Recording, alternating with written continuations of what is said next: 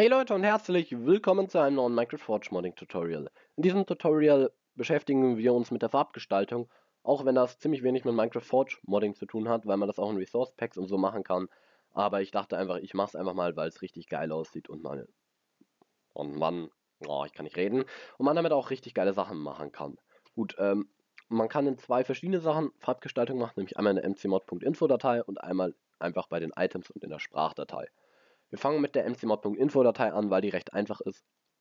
Und äh, wir sehen hier, ich habe das schon ein bisschen angefangen, weil ich hatte schon ein Fail-Video, weil ich da alles falsch erklärt habe.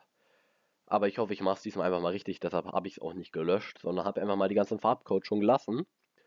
Weil Farbcodes, ich stelle euch den Link in die Beschreibung, die finden wir hier unter gamepedia.com Formatting Codes. Der Link steht natürlich in der Beschreibung. Hier sehen wir alle Farbcodes, die man die es in Minecraft gibt und auch die äh, hier die wie heißen die?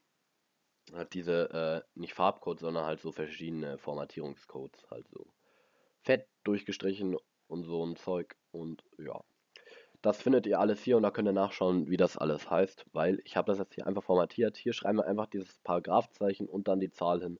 Aber ganz wichtig ist, wenn ihr sowas macht, das sind solche animierten Striche, also mit und K, äh, nicht und K, Paragraphzeichen K natürlich, dann gehen immer so hoch und runter, das findet man bei einigen Servern auch und dieses äh, Paragraphzeichen R resettet das alles wieder. Aber ganz wichtig, ihr müsst immer als erstes die Farbe angeben und dann könnt ihr diese anderen Zeichen, wie zum Beispiel fett geschrieben und äh, so äh, verschlüsselt, so Magic-Zeichen halt machen.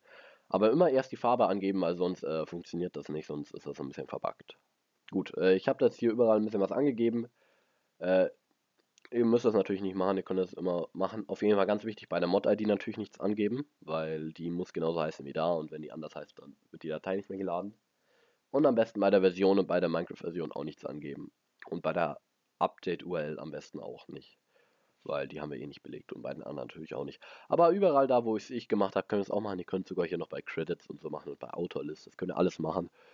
Und ja, die mcmod.info ist damit eigentlich fertig, weil das ist eigentlich recht einfach. Das kennen vielleicht auch schon Servermacher, aber obwohl, da nimmt man, glaube ich, nicht die äh, Paragraphzeichen her, sondern so einen anderen äh, UTF-Farbcode oder so.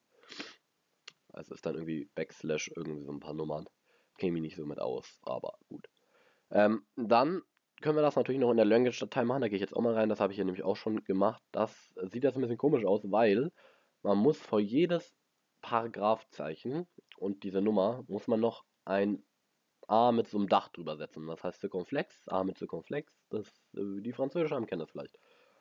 Dieses Zeichen, dieses komische Dach oder Hochzeichen, wie es auch in der Informatik da meistens verwendet wird beim Computer, findet man unter Escape meistens, wo auch dieser äh, Celsius-Kringel ist. Und wenn man da einmal drauf drückt, wenn man zweimal drauf drückt, kommt dieses äh, Hochzeichen, also zwei Dech Dächer, einfach so wenn man einmal draufdrückt und dann Shift A drückt, also ein großes A, dann kommt da so ein A-Zeichen raus. Genauso eins brauchen wir. Ich stelle es euch auch nochmal in der Beschreibung. In, die, in der Beschreibung, ja, ganz klar. In die Beschreibung natürlich. Ähm, damit ihr es euch, euch, euch. Boah, ich kann nicht mehr reden. Was ist eigentlich los? Äh, natürlich, dass ihr es euch aus der Beschreibung auch rauskopieren könnt und dann auch hernehmen könnt. Hier habe ich auch nochmal alles resettet und hier habe ich wieder die Farbe als erstes angegeben und dann, dass es nochmal fett geschrieben werden soll. Gut. Ich würde sagen, wir starten einmal Minecraft und sehen uns dann wieder. Bis dahin. Ciao. So, wir sind nun in Minecraft und äh, in dem normalen Screen-Modus, also hier so einfach Minecraft offen. Und wenn wir jetzt auf Mods gehen, wo unsere ncmod.info-Datei auch angezeigt wird, dann sehen wir hier schon, ist das schön lila geschrieben, die anderen sind alle weiß. Und wir sehen, dass das hier schön animiert ist, zum Beispiel hier ist es fett geschrieben und rot. Oder hier sind diese äh, Magic-Balken, die, oh nee, die gelb und äh, fett sind und so hin und her tanzen. Und hier ist YouTube auch nochmal lila geschrieben. Und ja, wenn wir da jetzt in unsere Welt gehen, dann können wir es uns auch anschauen, wie wir das in der Language-Datei gemacht haben. So, lad mal schneller Minecraft. So, gut. Ich habe die Items schon im Inventar, aber wenn wir jetzt eh machen und in unserem Tab gehen und drüber fahren, dann sehen wir schon, dass das fett geschrieben ist und so äh, lila.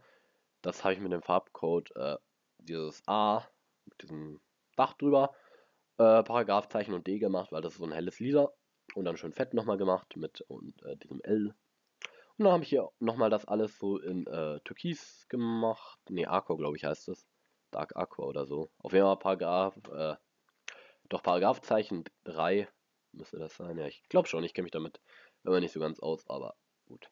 Auf jeden Fall finde ich das recht geil, weil das einfach viel ansprechender aussieht, wenn es so ein bisschen ja, farbig ist.